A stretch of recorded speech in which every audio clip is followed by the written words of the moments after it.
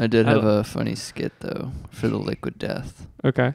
and that was just uh, all crack it open simultaneously and just say cheers. Oh God. the? What do Oh, you think? God. What do you think? Oh, Is that too? Is that too It's cringe? too cringe, man. is cringe. I'm Wow. sorry. I, I would know, do right? it on, on I, I would If do we it. if we were getting paid globs, Right. I would just be like shake Right. weight commercial with liquid death. That's how much I would I would love liquid death. You know, that Jesus shake Christ. weight commercial still it, it haunts me. I know.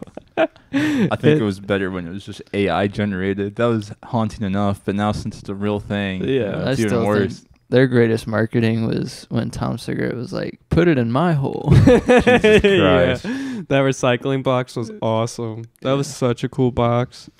I'm mm. dehydrated. I know. I might have to open mine soon. Felt like I was in a desert. When I am o- when I would be okay with doing that Cheers skit is when we actually need a commercial. Do you know what I mean? Like Liquid Death is like, we're gonna sponsor you now, but you guys need like a two minute commercial before every podcast. I'll be like, we got the idea. Oh, Like, God. that would be that Oh, would dear be God. make sense. That would make sense to me. You should like be like those doctors in the commercials and be like, liquid death can increase your blood flow and decrease your dehydration and just go on and on. And life Infomercial. And Life monotone. fatality. sure. Like 3 a.m. infomercial. Yeah. Okay. Can Yeah, for extend your lifespan. Yeah. Drink water.